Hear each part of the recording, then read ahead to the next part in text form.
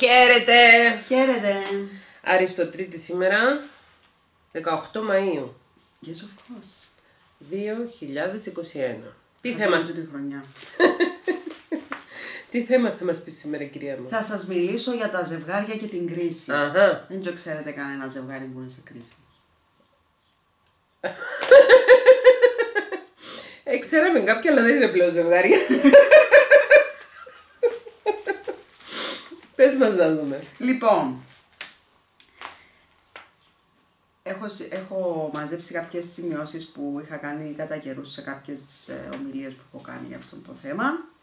Λοιπόν, να πω ότι συνήθως όταν είμαστε ανώριμοι ή όταν η αυτοεκτίμηση μας δεν είναι και τόσο υψηλή, μεταφέρουμε αυτόν το ανώριμο κομμάτι μας μέσα στη σχέση. Οπότε είναι πολύ δύσκολο να δείξουμε αγάπη, στοργή, κατανόηση και όλα τα συναφή όταν εμείς οι ίδιοι έχουμε θέματα με αυτόν το κομμάτι και όταν το δικό μας κομμάτι είναι ανώριμο και έχει ας το πούμε ελλείμματα από την παιδική μας ηλικία και προσπαθούμε να μεταφέροντάς το στη σχέση να το λύσουμε. Ωστόσο στη σχέση είναι επειδή αυτό συνδέεται με τα κομμάτια του άλλου προσώπου, του συντρόφου, της συντρόφου, που και εκείνος ή και εκείνοι μπορεί να έχουν αντίστοιχα ελλείμματα ή άλλου είδους ελλείμματα, τότε το πρόβλημα γίνεται πολύ σοβαρό και επικοινωνιακά υπάρχει μία δυσκολία. Ε, να πούμε ότι έτσι αν, αν, αν κάνουμε λίγο πιο γιανό τη θεωρία του εγώ μας και μιλήσουμε λίγο για αυτά που είπε ο Φρόιντ για το it, το εγώ και το super ego που είναι το εγώ, το εκείνον και το υπερεγώ τα οποία είναι τα τρία κομμάτια του, ε, του εαυτού μας. Το ανώριμο κομμάτι, το παιδικό το ενήλικο κομμάτι και το κοινωνικό κομμάτι. Αυτό που είναι το σοφό κομμάτι να το πούμε. Ε, εξαρτάται τι υπερισχύει. Σε κάποιους ανθρώπους τα ανώριμα κομμάτια τους είναι πιο έντονα, σε κάποια πράγματα, σε κάποια άλλα είναι πιο έντονα το εγώ τους, σε κάποια άλλα είναι πιο έντονο το σούπερ εγώ τους, το υπερεγώ τους. Ε, εξαρτάται σε ποια κομμάτια, δεν είναι σε όλα το ίδιο. Δηλαδή μπορεί κάποιος σε μία πτυχή της ζωής του, π.χ. στο επαγγελματικό κομμάτι να είναι ok, να λειτουργεί σωστά, να είναι ενήλικος ο τρόπος που διαχειρίζεται τις όποιες δυσκολίες που υπάρχουν.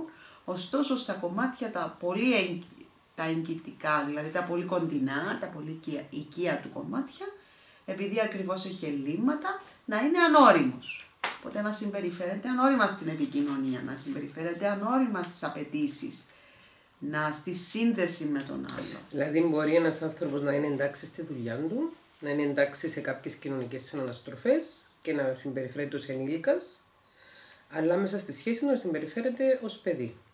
Ναι. Σαν παιδί. Ακριβώς. Σαν παιδί. Οπότε, ε, ανάλογα με το τι βιώματα έχει, έχει κανείς, είναι και αντίστοιχος ο τρόπος που συμπεριφέρεται σε μία σχέση. Από την άλλη τώρα, αυτόν καλείται να γίνει εμείς, δηλαδή αυτόν το, ο εαυτός με τα ανώριμα κομμάτια του ενός και ο εαυτός με τα ανώριμα κομμάτια του άλλου, πρέπει να γίνει εμείς. Ε, και είναι πολύ σημαντικό να δούμε πόσον εμείς θα γίνει ε, και πώς ξέρει ο καθένας το σχετίζεστε. Γιατί και το σχετίζεστε πάλι το μαθαίνουμε από την πρώτη σχέση της ζωής μας που είναι η σχέση μας με τους γονείς μας. Με τον τρόπο που αυτοί σχετίζονται. Με αν, α- άνθρωποι, υπάρχουν άνθρωποι που μπορούν να το μάθουν με την εισάτοπον απαγωγή. Ε, δηλαδή να υποθέσουν ότι αυτόν που βίωσαν δεν είναι αυτόν που πραγματικά έπρεπε. Όχι έπρεπε, που αυτόν που θα καθιστούσε ε, φυσιολογική τη σχέση, οπότε φαντασιώνονται πώς θα μπορούσε να είναι το πιο φυσιολογικό και το πιο ολοκληρωμένο κομμάτι μιας σχέσης. Ή μπορεί να αντιδρούν, να λειτουργούν εντελώς αντίθετα από ό,τι λειτουργούσαν οι γονείς τους, ακόμη φτάνοντας και σε υπερβολές, με βάση τη εισάτοπον απατογωγή. Δηλαδή, πόσοι συμπεριφέρονταν οι γονεί μεταξύ τους, δεν μιλούσαν ο ένας στον άλλο. δεν έλεγαν τα παράπονα τους. Άρα εγώ κάνω το αντίθετο, μιλάω συνέχεια και κάνω συνέχεια παράπονα. Ναι. Ε, προφανώς αφού αυτή σκέφτεται ο, ο άνθρωπος ότι αφού οι γονείς μου είχαν αυτόν τον τρόπο και δεν μπορούσαν να επικοινωνήσουν, μήπως το, το να έχω ακριβώς το αντίστροφο θα μπορέσουν να επικοινωνήσουν και αυτό δεν είναι πάντα ο κανόνας, γιατί έχει να κάνει και με τον τρόπο που εκείνοι μεγάλωσαν, εκείνα που αυτοί κουβαλούν, αλλά και τον τρόπο που ενδεχομένως να κατήντησαν να επικοινωνούν, ακριβώς γιατί δεν έπαιζαν, δεν χόρευαν μαζί ταγκό, δηλαδή δεν ε, πήγαινε ο ένας με τα βήματα του άλλου. Άρα, επειδή ακριβώς υπάρχει έναν έλλειμμα στο πώς να σχετιζόμαστε όταν δεν έχουμε ε, βιωματική γνώση γύρω από το πώς είναι να σχετίζεστε με τον άλλο, ε, πάρα πολλά θέματα προκύπτουν στο ζευγάρι και αυτό το βλέπουμε. Έχουμε πει πολλές φορές ότι ζούμε σε εποχές που τα θέματα θα είναι οι σχέσεις μας. Ε, είμαστε πολύ μπερδεμένοι, ακριβώς γιατί έχουμε διαφορετικά μοντέλα διαπαιδαγώγησης υιοθετήσει, ε, με διαφορετικά μεγαλώματα μεταξύ των δύο φύλων. Υπάρχουν δηλαδή έμφυλες διαφορές ε, υπάρχουν οικογένειες που μεγαλώνουν τα αγόρια διαφορετικά, τα κορίτσια διαφορετικά ακόμη και εκείνα τα αγόρια και εκείνα τα κορίτσια καλούνται έπειτα να παίξουν ρόλους που μπορεί να μην έμαθαν. Οπότε προκύπτει έναν τεράστιο μπέρδε με όλο αυτό. Ε, θα σας διαβάσω ένα μικρό απόσπασμα από, το, από ένα πείμα του Κυπράν, το οποίο, ναι, το οποίο μιλάει για το εμείς. Αγαπάτε ο ένας τον άλλον, αλλά μην φτιάχνετε δέσμη αγάπης. Τραγουδάτε και χορεύετε μαζί και να χαίρεστε, αλλά αφήνετε τον καθένα σας να μένει μόνος. Ακριβώς όπως οι χορδές ενός λαού του είναι μόνες, ενώ ταυτόχρονα παίζουμε στον ίδιο σκοπό. Και να στέκεστε μαζί, μα όχι πολύ κοντά ο ένας στον άλλον, γιατί οι κολόνες του ναού στέκονται σε απόσταση και η βελανιδιά και το κυπαρίσι δεν φυτρώνουν το ένα στη σκιά του άλλου. Πολύ ωραίο. Μιλάει για τη συμπόρευση η οποια ε, αποτρέπει τη συγχώνευση. Ακριβώς. Ε, συνήθως νομίζουμε ότι το να συνδεθούμε σημαίνει να συγχωνευτούμε, να γίνουν οι δύο άνθρωποι ένα και να μην υπάρχει καθόλου η ιδιωτικότητα και η μοναχικότητα μέσα στη σχέση, το οποίο πνίγει τόσο τον έναν όσο και τον άλλον. Ε, ξέρεις, αυτές τις μέρες έστειλε μου μια φίλη από το κανάλι να παρακολουθήσω κάποια βίντεο του Αλέντε Μποτών, Αλέντε Μποτών, ενός ε, γαλλόφωνου. Ναι, τον γνωρίζω. Τι ωραία που τα λέει. Ναι. Ε, έκαμε μου εντύπωση γιατί η, η προσέγγιση του όσον αφορά στη δημιουργία μιας σχέσης, σου που λέει, λέει, λέει όταν γνωρίζεις κάποιον, δεν πρέπει, πρέπει να το ρωτάς με ποιον τρόπο είσαι τρελός εσύ. Λέει όλοι έχουμε θέματα, όλοι έχουμε τρέλα και είναι η δική σου τρέλα. Σίγουρα θα το γνώριζες. Σε κανέναν που δεν το γνωρίζεις, μόνο εγώ με ασχεδί. Ναι. Ε, παρακολουθώ τα βιβλία, το γνωρίζεις. Αφού δεν μπορώ να περιδιαβαίνω στο μυαλό, όπως περιδιάβαινα, περιδιαβαίνω ηλεκτρονικά. Τακτικός, μπορώ να πω. Ε, είναι ενδιαφέρουσα η θεωρία του, είναι ενδιαφέρουσα η θεωρία του και λέει ότι πρέπει να... Λέει, το, το βασικό του επιχείρημα είναι ότι ο ρομαντισμός και οι ιδέες της ρομαντικής εποχής έχουν ε, καταστρέψει τις ανθρώπινες σχέσεις γιατί μας δίνουν κάποια ιδανικά, κάποια ιδεώδη για το πώς θα έπρεπε να είναι μια σχέση και θεωρούν ότι το μόνο απαραίτητο για την πολλά σπουδαία σχέση είναι να ερωτευτείς και ραυνοβόλα. Δεν σου δίνουν καθόλου τα εργαλεία για να δουλέψεις τη σχέση, τη συνδεσιμότητα, αλλά και το σεβασμό της μοναχικότητας και της διαφορετικότητας του καθενός. Wow. Καταπληκτικό. Mm-hmm. Έγραψα ένα βιβλίο για τον έρωτα χωρίς να έχω διαβάσει τον ποτό. Δεν πειράζει, το ε, επόμενο. Δεν έρχομαι όμως σε αντίθεση με που λέει, νομίζω. Εντάξει, εσύ το, το βιβλίο το έγραψες ε, μέσα από τη δουλειά σου, μέσα από την εμπειρία σου και μέσα από τα βιώματα.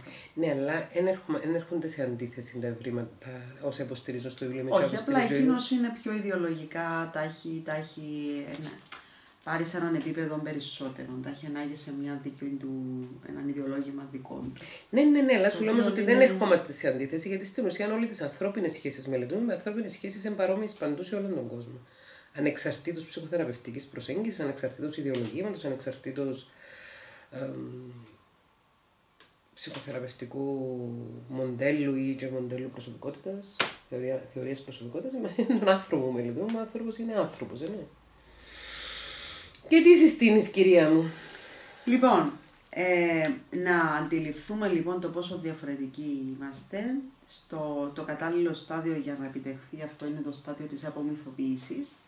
Είναι το στάδιο δηλαδή που φεύγει ο ερωτάς, φεύγει όλο αυτό το ενεργοβόρο συνέστημα, το πολύ έτσι καταπιεστικό προς το, να, το τρελό συνέστημα θα το πω, ε, που καταπιέζει τον άνθρωπο στο να μην βλέπει πράγματα. Εννοείς ότι φεύγει η πρώτη, ο εντυπωσιασμός και ο ερωτικός ενθουσιασμός και το κράσ, η φάτσιμαν, η κόλλημαν, η Ναι, όλο αυτό, καψούρα που λέγεται στην όλο αυτό που, ελληνική αργό. που είναι τυφλόν, που σε κάνει τυφλόν. Που δεν Τα μπορείς έντονα να δεις. συναισθήματα των πρώτων μηνών. Και το λέω βασανιστικό γιατί σε βασανίζει πιο πολύ το να έρθεις σε επαφή με τον άλλον παρά το αν κάνει να έρθεις σε επαφή με τον άλλον. Λοιπόν, οπότε όταν φύγει όλη, αυτόν το, όλη αυτή το φρουφρού που μας περικλεί όταν έχουμε ερωτευτεί κάποιον ή κάποια, έρχεται το στάδιο της απομυθοποίησης. Και στο στάδιο της απο- απομυθοποίησης πρέπει να ξέρουμε τρία πράγματα. Ποιοι είμαστε και τι θέλουμε, πώς είναι ο σύντροφός μας, τι είναι αυτός ο άνθρωπος, ποιος είναι αυτός ο άνθρωπος, αλλά και την ανάληψη ευθύνης για το τι θα κάνω. Δηλαδή, είμαι αυτός, είναι αυτός, είμαι αυτή, είναι αυτός, τι θα κάνω εγώ με αυτόν τον άνθρωπο, τι θα κάνω εγώ με αυτήν την κοπέλα ή με αυτόν τον άντρα. Μπορώ να πάρω την ευθύνη να δοκιμάσω για να είμαι μαζί του. Γιατί μπορεί να βλέπεις τα διάφορα θέματα.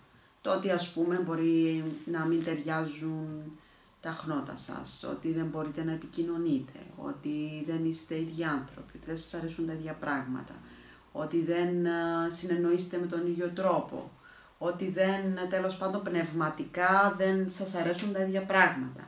Ωστόσο, θέλεις να είσαι μαζί του, μαζί της. Για ποιο λόγο θέλεις να είσαι μαζί του; Πάρε την ευθύνη να είσαι μαζί του. Ε, και εγώ αυτόν το είχα βιώσει όταν ήταν, α, όταν, τέλος πάντων όταν ήταν να παντρευτούμε με τον σύζυγό μου.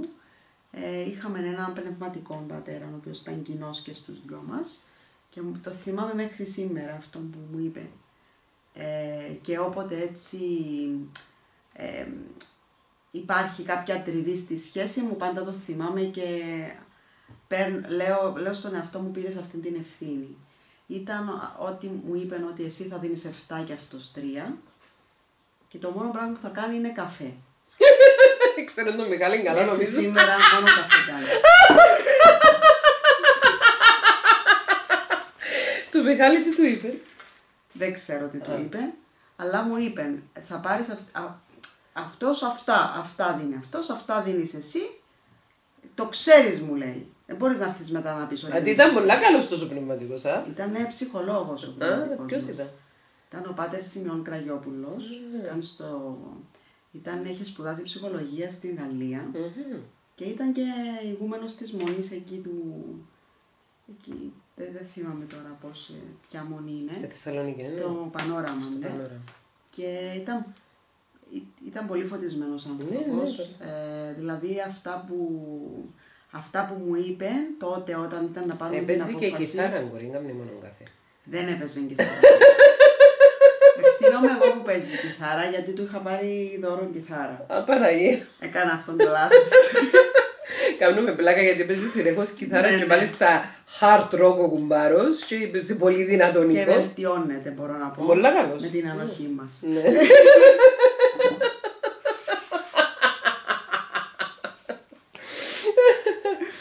Ναι. Ναι, είναι πολύ σημαντική η ανάληψη της ευθύνης. Ότι ναι, γνωρίζω ότι αυτός ο άνθρωπος αυτά μπορεί να δώσει. Ε, Ενώ εγώ- συνήθως είμαστε ανεύθυνοι κορυφή. Ναι. Και αν φτιάχνουμε μια φαντασία σου, γνωρίζουμε έναν τυχαίο τύπο, ονόματα δεν λέμε, υπολείψεις δεν θίγουμε. Είμαστε, ξέρω εγώ, πολλά από χρόνια μόνες μας.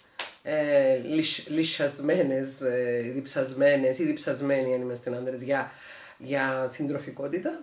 Φτιάχνουμε μια φαντασία σου για έναν άνθρωπο ότι είναι το ένα, ότι είναι το άλλο, πράγματα τα οποία ούτε καν από, μακριά, από δίπλα τους δεν πέρασε. Και μετά έχουμε παράπονα γιατί δεν είναι ιδανικός όπως τον είχαμε ερωτευτεί και όπως τον είχαμε μπλάσει αυτός ο σύντροφος και όπως τον είχαμε φανταστεί. Και τε- την φάκαν τώρα ήταν ο ψυχολόγος που τον αναλαμβάνει και αναλαμβάνει το ζευγάρι. Και δεν αναλαμβάνουμε την ευθύνη ότι έπιασε έναν μπουτσάι που παίρνει από όξω και είπε έλα δεν σε κάνω άντρα μου. Πώ πει ο Λάζαρος κάποια ζευγάρι είναι σαν δυο παίχτες reality που τυχαία τους έβαλαν μαζί να δεν μπορούσαν να αντέξουν. Αν το ξέρεις από την αρχή ότι πάω να κάνω μια ε, ατέριαστη ένωση με μόνο κριτήριο τη μοναξιά, δεν θα περιμένεις πολλά πράγματα. Ίσως δεν θα την κάνεις κιόλας τώρα. Έτσι είναι, έτσι είναι. Οπότε είναι μεγάλο, είναι ευθύνη της ενηλικίωσης. Και όταν συνειδητοποιήσεις συναισθηματικά, όχι χρονολογικά, τι σημαίνει να είσαι ενήλικας, τότε νομίζω ότι εκείνη την περίοδο περνάς έναν τεράστιο πένθος. Γιατί αποχαιρετάς πολλά ανώριμα κομμάτια σου, τα οποία σε έκαναν να ξεφεύγεις. Ε, είναι πάρα πολύ σημαντική η έννοια της ενηλικίωσης σε όλα τα επίπεδα.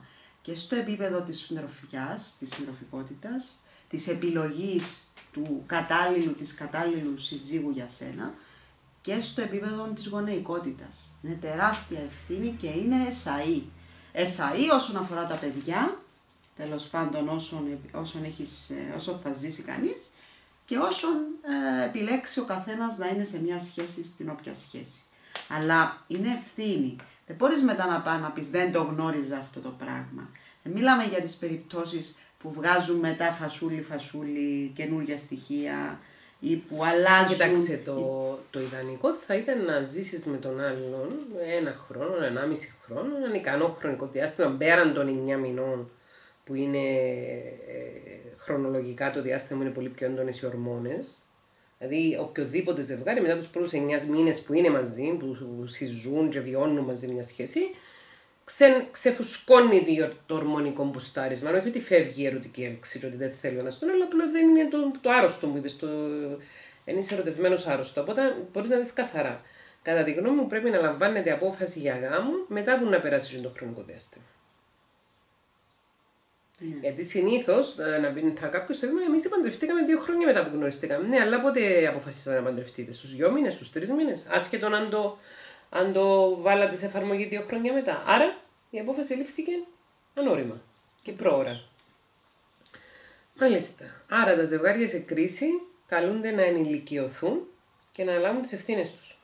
Το πιο σημαντικό είναι τεράστια ευθύνη απέναντι στον εαυτό σου, δεσμευτικό απέναντι στον εαυτό σου και απέναντι στον άλλο, το να επιλέξεις συνειδητά ότι αυτός ο άνθρωπος έχει αυτά τα χαρίσματα, έχει αυτά τα ελαττώματα και εγώ με αυτά τα ελαττώματα μπορώ να ζήσω και δεν θα παραπονιέμαι. Αν δεν μπορείς να ζήσεις, ε, χωρίσει. Υπάρχει αυτή, Ναι, υπάρχει και αυτή η λύση υπάρχει φυσικά. αυτή η λύση. Ναι. Ευχαριστούμε, δόκτωρ. Θα βάλω κάποια αποσιοποιητικά γιατί δεν θα πω όλα τα μυστικά μου. τάκ, τάκ, τάκ. Θα κλείσω και το βίντεο μέχρι να θυμηθώ που είναι η εφαρμογή στο κινητό που το κλείνει, που θα πάει.